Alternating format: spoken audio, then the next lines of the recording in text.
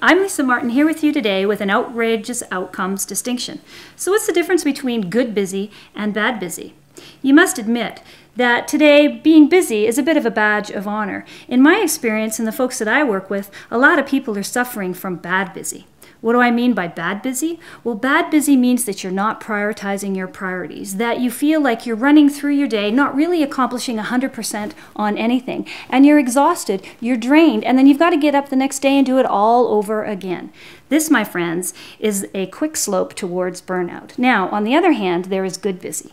What is good busy? Well, good busy means that you have prioritized your priorities, that you're actually doing in a day the things that you need to get done. But the big difference here is you're doing things that energize you. Yep, that's what I said energize you. You need to discern, to look at, and figure out what are the things on your to do list that actually make you feel good, that you love to do. And the key is to do more of them.